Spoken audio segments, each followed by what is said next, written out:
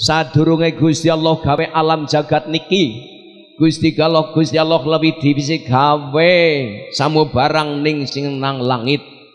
Allah gawe suarga diingseni karo malaikat karo banul jan. Allah nang dubur sing lebih disit digawe daripada sing nang dunya.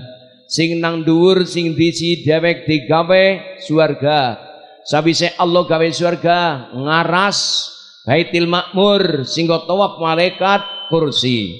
Allah gawe makhluk suarga jenengane malaikat lan banul jan. Malaikat karo banul jan ngibadah karo Allah suwene bodong puluh ebu tahun tanpa maksiat. Barang wis Allah gawe suarga diingseni malaikat lor malaikat karo banul jan malaikat digawe sekang nur Banul Jan digawe sekang geni. Ngibadah karo Allah bodong puluh ebu tahun tanpa maksiat.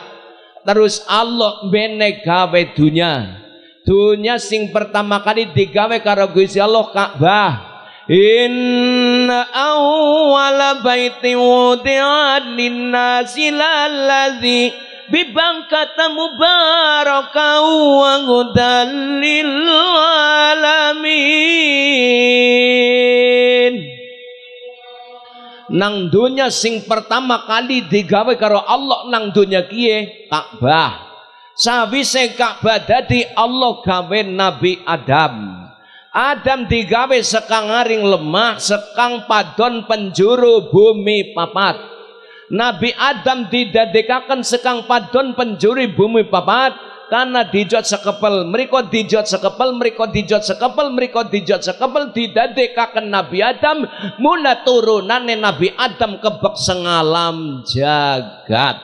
Lah kepele ora diterangaken dedek piadege Nabi Adam diterangaken dhuwure Nabi Adam niku dhuwure Nabi Adam niku pitung puluh hasta angger sehasta niku setengah meter.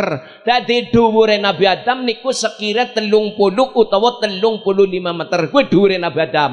Dhuwure Nabi Adam pira niki telung puluh lima dhuwure. Ambane awake Nabi Adam niku nek diukur meter patang meter setengah dhuwur. Ambane ya gede dhuwur kelontrongan bekas meripatnya Nabi Adam sedo kia kelontrongan bekas meripat siji kowe nek gondek kemacan siji esi longgar. Gabah siji nang jum jaman Nabi Adam niku pada gedene pada karo enduk banyak. Saumpama sikena gabah gedene pada karo enduk banyak ibune ngliwet telu wis mededeg.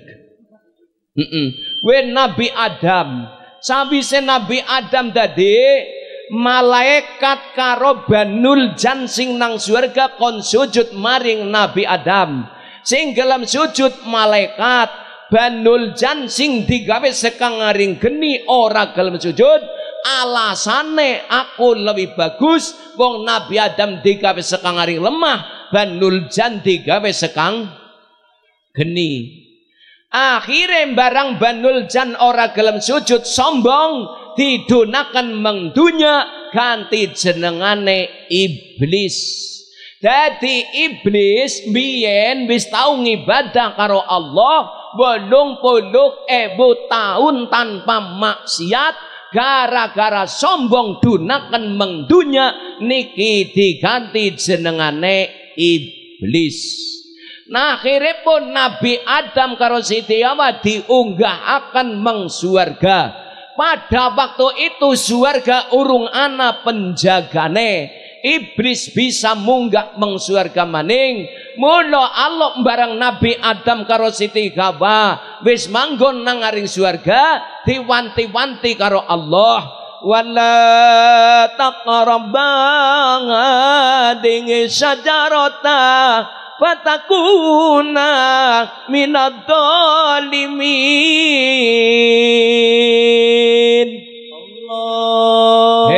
Adam lan Hawa siro aja medek-medek iki wit guldi mangan apa bae nang surga ngono tapi aja mangan aja medek-medek wit guldi wit guldi niku nang keterangan niku wit anggur Akhiripun pada waktu itu nun sewu suarga niki urungana penjagane niki iblis munggah meng suarga goda Siti Hawa. Akhiripun barang goda Siti Hawa, Siti Hawa niku medek-medek di fa azallahuma syaitanu anha fa akhrajahuma mimma kana fihi Fakul nabitu ba'dakum li ba'din ngadubu walakum fil ardi mustaqarru wa matangun ilahin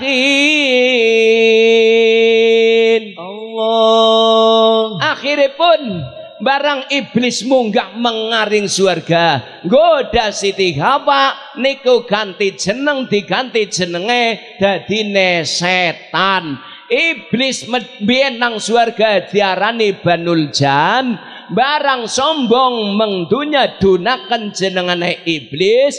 Barang goda menungsa diganti jenengane setan. Akhirnya pun Siti Gawa met wikulti kenang godane setan barang wis met wakulti Matkul diniku wite ditelungaken wite sempal, wite pulu te metu, ne Siti Gawa sejarah terjadi barang wis wite khuldi sem sempal metu pulu te. Ne Siti Gawa ngisor telanakane metu getiye. Ki sejarah wong wadon M gara-gara Siti Gawa nerjang larangane Gusti apa pun larangannya Allah nek diterjang pasti ada akibatnya. Siti gawan nang surga dewanti-wanti aja ngantek medek wol kudi medek ora kena metil. Barang wis metil wite sempal metu pulute akhirnya nih Siti gawa metu getiye dadi turunane wong wadon tekan seprene-prene jadi wong wadon normal umur subur kue samben bulan metu getiye. Sejabe sejarah awal mulane nerjang larangane Gusti. Dadi wong wadon janji wong normal umur subur kowe metu getihe jenengane geti M. Wis tua kok metu getihe bae jenenge ya bejad. Barang barang wis gawa mati we khuldi nang Siti Gawa metil telu didahar loro nang Siti Gawa didahar loro mandek nang dada dadine tremos istimewa khusus kagem balita lan bayi kaplak. Diaturaken wong Nabi Adam mandek nang gulu dadine manik.